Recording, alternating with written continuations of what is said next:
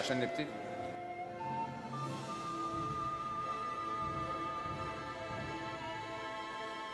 قوي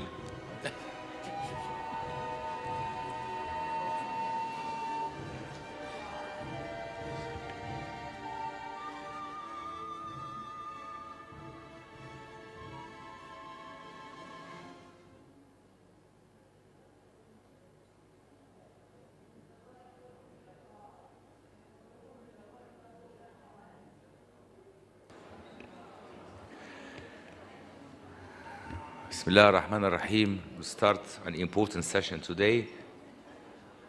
By important, I mean the importance lies in the new era of cancer treatment, which is immunotherapy. I think we'll start by the first speaker, Professor Hesham El Ghazaly, who doesn't want any introduction. He's the big boss of this conference. You know him very well, and one of my dearest colleagues and friends topic will be the clinical practice recommendation in immuno-oncology. Do we need actually recommendation to use these drugs or not in lung cancer and other diseases? Professor Hesham, please. Thank you very much, uh, Mr. Chairman. And uh, uh, this is the first uh, BGICSS ITC clinical practice recommendation in immuno-oncology.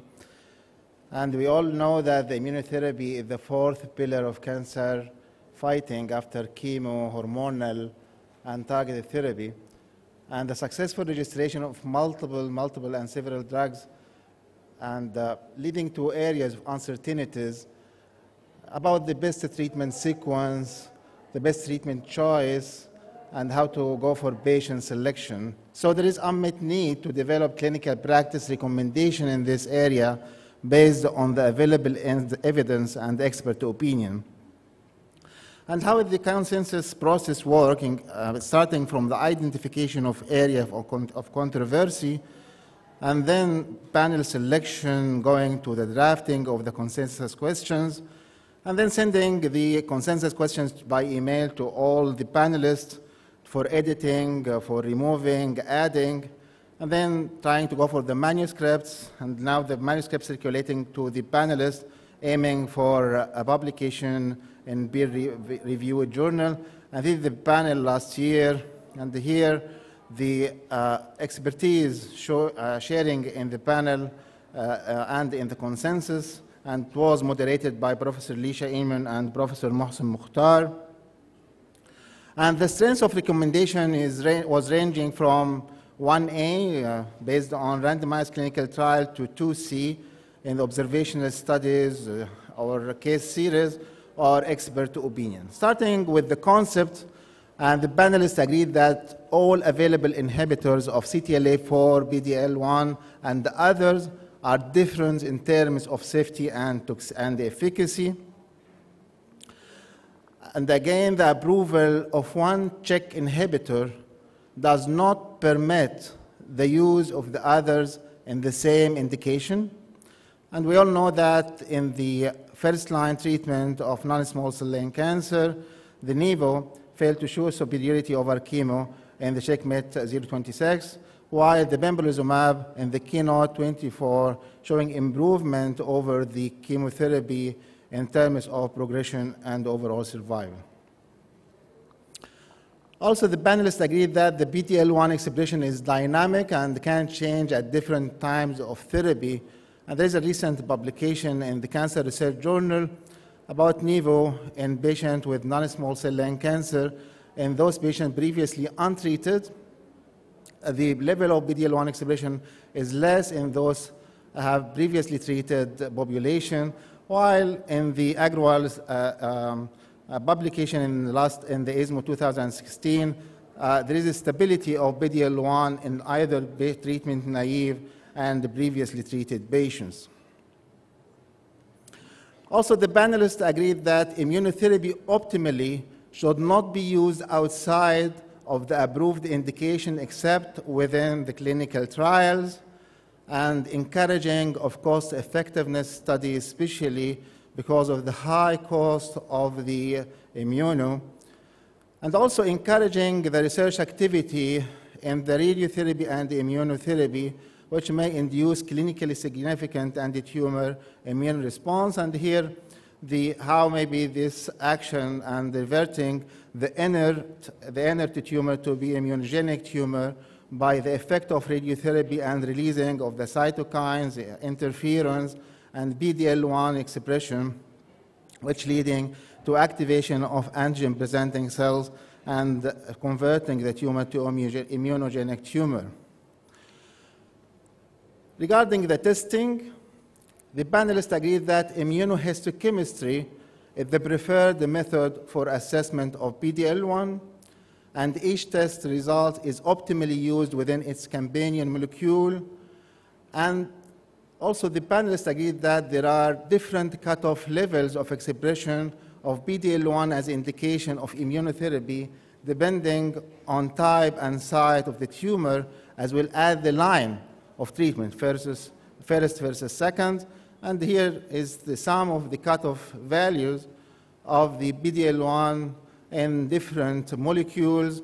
So we find that it is important to assess in the first line treatment of non-small cell lung cancer in pembrolizumab to be 50% or more, while in the second line more than 1%, while in the Nivo and the atezolizumab there is no need to assess the PD-L1 in the second line, and the durvalumab with cutoff value 25%. The tumor response to immunotherapy is regardless of PD-L1 status in some tumor types, while it is predictive in others. And here there is multiple uh, evidence about that. So here in the uh, in the uh, uh patients with metastatic triple negative breast cancer, showing that the PD-L1 negativity or positivity not affecting the overall response rate in cohort of patients previously treated, while in the patient with previously untreated having a better overall response rate uh, with PD-L1 positivity. Also in patients with colorectal cancer with microsatellite instability high, the level or the expression of PD-L1, either rare, intermediate, or numerous, not affecting the response rate. So the people have complete response or partial response not affected by the PD-L1 expression in this tumor. On the other hand, in the OAK study, in the, in the second line non-small cell lung cancer, we have a better response rate, overall response rate, in those patients expressing more percentage of PD-L1 in comparison to those patients expressing less uh, expression of PD-L1. Again, the panelists agreed that the pre-treatment assessment of MSI could be used to predict the response, and this is shown clearly in the keynote uh, 59, uh, showing the overall response rate in patients with gastric and the gastroesophageal uh, junction tumor with MSI have a very high, a very high uh, overall response rate compared to those with non-MSI high. There is strong controversy about the best method for assessment of response, either to go for CT and or MRI or functional imaging by PET-CT. The, uh, it was 60% uh, versus 40% in the favor of CT and or MRI. And also the endpoints, the, the panelists agreed that the overall survival is the preferred endpoint for immunotherapy, especially with the high cost of the drug. And then there is a strong controversy about it is important to include also the progression-free survival, overall response rate, duration of response, and the quality of life to be accepted primary endpoint in immunotherapy trial. And we all know that the pattern of response and survival is different than those with chemotherapy with long tail of overall survival uh, based on the uh, uh, good duration of response with immunotherapy. Going to the side effects, the pattern of adverse events with immunotherapy is different than chemotherapy and usually manageable. And we all know these meta-analysis showing that in the five trials in the non-small cell lung cancer showing that the, uh, the adverse events are less in favor of the uh, anti-PD-L1, PD-1 therapies uh, in comparison to chemotherapy. And in combination, and this is very important, the probability of adverse events is higher, either in immuno-immuno combination like IPI-NIVO combination in the CheckMate 12, or in chemo-immuno combination compared to uh, uh, chemo alone, uh, I, uh, like in the keynote trial, and also in the chemo, uh, immuno, and uh, bevacizumab in comparison to bevacizumab with, with chemotherapy as IMpower trial. So the combination usually have more adverse events compared to the standard compared with it. And this is very important because it is important in, uh, in laterly in, in selection of treatments depending on the cost, side effects, and the efficacy. So also the panelists, 100% of the panelists agreed to go for a guideline and education for managing the side effect of immunotherapy, and this those, uh, was in January 2017, and in July there is a release and publication in the ESMO for the ESMO guidelines for the management uh, for the adverse events of immunotherapy. Going to the combination strategies of immunotherapy, so the panelists agreed that the immunotherapy combination with chemo or targeted therapy is possible with promising results in some indications. And here the Keynote 21 and the non-small cell lung cancer showing improvement, significant improvement in the progression-free survival with median uh, uh, uh, progression-free survival of 19 months versus only 8.9 months with chemotherapy.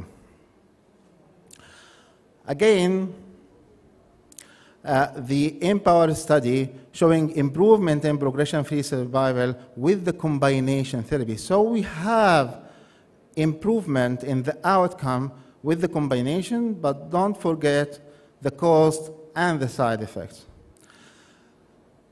Going to the treatment beyond progression in immunotherapy, and the, the, the, statement was in all tumor types in patients with clinically meaningful progression, there is not enough evidence to support continuing the same type of immunotherapy beyond this progression.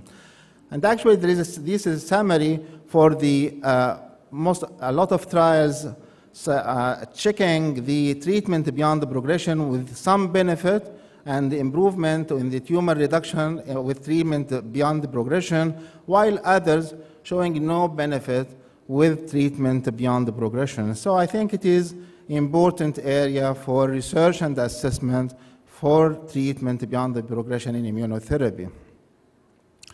Going to lung cancer, and the panelists agreeing to divide lung cancer into three main groups, oncogenic driven positive with PD-L1 positive or negative, oncogenic driven negative, PD-L1 positive, and oncogenic driven negative, PD-L1 negative. The panelists agreed that the PD-L1 status is not required for the second line non-small cell lung cancer patient management with immunotherapy, and this is very clearly shown in the uh, OAK study with low, uh, with overall survival benefit still shown in spite low PD-L1 expression. Again, in the checkmate uh, 17 and checkmate 57 improvement in first, second, and third year overall survival with no assessment of uh, irrespective of PD-L1. Also, the panelists agreed that we must go for assessment of all targets before starting treatment in stage 4 non-small cell lung cancer, including PD-L1, uh, EGFR, ALK, ROS, and BRAF and others. And this is clearly shown also in the NCCN guidelines and this year to assess all these possible targets for treatment of non-small cell lung cancer. The panelists agreed that in the first line, for oncogenic driven negative, PD-L1 positive non-small cell lung cancer, Pembro is the standard of care, especially if there is greater than, or only if greater than 50% the PD-L1 expression. And we know that the Keynote 24, and this is the recent data released, that there is improvement in overall survival and progression-free survival, and this is the last release of these curves, with the median overall survival improvement of 30 months compared to only 14 months for the chemotherapy. In patients in the first line tumor, of the first line treatment, if the tumor cells are less than 50% stained for PD-L1, the standard of care till now is chemotherapy. And the platinum doublet chemotherapy is the standard of care of the, in the first line. And this is the uh, usual slide we see that how the chemotherapy help and the platinum help an improvement in overall survival of the patient from two to four months to about 17 months with the add of multiple agents. Again, the combination, the combination therapy, including the immuno and chemo, could be a good treatment option in the first line setting, could be a good treatment option in the first line treatment setting of PD-L1 negative patients. And here the overall response, the overall response rate in the, with, the with pembrolizumab with chemotherapy compared to chemotherapy alone. Again here in the IMpower study, with the atezo-biva and chemotherapy compared to the biva and chemotherapy alone. For the second line treatment in non-small cell lung cancer, the immunotherapy is the preferred option regardless the PD-L1 status for most of patients. And this is agreed by 75% of the panelists and for the second line, non-small cell lung cancer immunotherapy is the preferred option regardless the cell histology, either squamous or non-squamous cell lung cancer. And we all know this is the evidence behind this, including the OAK study, the Keynote study, and the Checkmate 17 and the 57 uh, studies. Patients with treated and controlled CNS metastases could also receive immunotherapy, and the panelists agreed for this. And going to patients with oncogenic uh, uh, driven positive tumors and PD-L1 positive or negative, so the best treatment option is the targeted therapy either for EGFR or for ALK-positive tumor with lot of treatment option now, as, as you see here, compared to chemotherapy, have improvement and better progression-free survival. So, in conclusion of the non-small cell lung cancer can be classified, and this is the possible algorithm for treatment of lung cancer. In those patients with oncogenic-driven positive, PD-L1 positive or negative, this is the first line uh, possible uh, treatments, including the anti or the targeted therapy anti-EGFR, anti-ALK, or anti-ROS, or anti-BRAF, or specific TKIs for RET, MET, HER2, and others. The second line may include chemo or second generation TKIs, or now maybe immunotherapy. In the oncogenic driven negative PD-L1 positive more than 50%, the first line treatment is Pembro, with the second can be Nivo, Pembro, Atezo, or maybe chemotherapy with or without ramucirumab. And the, in the first line, in the oncogenic driven negative, PD-L1 negative, and I think we can think like triple negative disease in, in breast cancer, we must go for chemo, platinum doublet, and maybe in the second line we can go for immunotherapy. So in conclusion, immunotherapy is an effective therapeutic strategy that already changed oncology practice. This recommendation may help to guide practitioners, especially with a lot of uncertainty in this area, and tailor the recommendation to every tumor type is recommended based on the available ev evidence and expert opinion. And extensive research is encouraged in this area, started from dosing, combination, patient selection, and the cost effectiveness. And thank you very much.